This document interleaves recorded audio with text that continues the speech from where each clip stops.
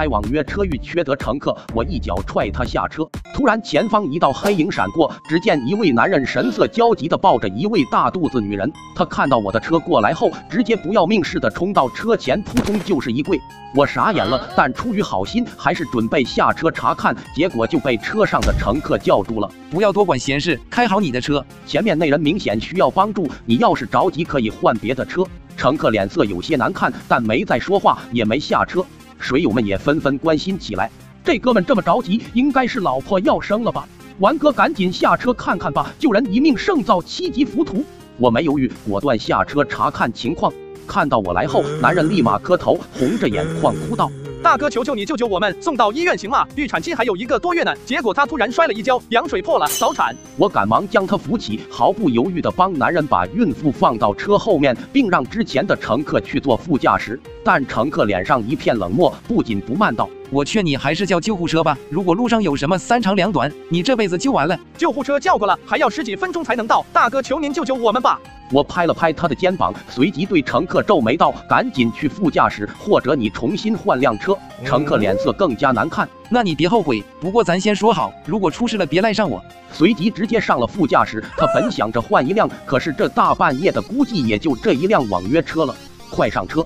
谢谢大哥。车上男人声泪俱下：“大哥，您就是我们家的救命恩人啊！大半夜没什么出租车了，我只能在路口一辆一辆拦私家车。我跪下给他们磕头，但他们怕出事情，都没答应。只有你答应了。大哥，你真是我们的救命恩人啊！我给你磕个头。”我赶忙阻止，顺便透过后视镜看了一下孕妇的情况，还好没大碍。第一，距离任务结束还有二十分钟，请宿主加油。我沉默不语，只是一脚将油门踩到底。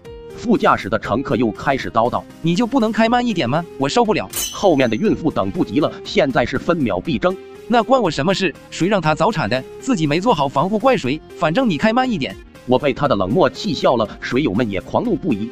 卧槽，这男的是没有心吗？现在是人命关天，他还只是想着自己舒不舒服。我懂了，这个男的一定没亲人，是个孤儿，所以没有感情，没有同情心。我冷眼看了看他，为了防止他下面继续逼逼赖赖，我直接一脚给他踹下了车。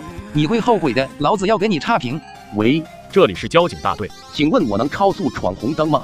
先生，这是违反交通规则的行为，当然是不行的。我只是通知你们一下，没要求你们同意。接电话的警察瞬间精神了，好家伙，这是在挑衅我！我也意识到自己表达有问题，赶忙解释道：“不是啊，我车上有孕妇，现在情况紧急。”对方沉默了一会后，请你告诉我们你的车辆信息，在确保安全的前提下，我们允许你闯红灯超速。另外，我们也将派警车迅速出动。我心中大定，再没有丝毫顾忌，全速行驶。由于是半夜，路上的车也不多，所以我我仅仅用了八分钟就到了。护士们第一时间就把孕妇推走了，男人也跟着进去，只剩下我一人孤零零的站在医院外。我擦了擦额头的冷汗，水友们的弹幕也在狂刷，真的是速度与激情了。我全程都在担心完哥，刚刚那车速起码也有一百八十了吧，看得我心惊肉跳。水友们，我头一次开那么快，现在车的引擎盖都能烧开水了。当时也没考虑那么多，只想着把孕妇快点送到。现在想想就好刺激。水友们连忙安慰道：“玩哥好样的！”第一，恭喜宿主获得差评，当前乘客愤怒值为四十，奖励四十点成长值。第一，恭喜宿主完成任务，奖励劳斯劳斯幻影。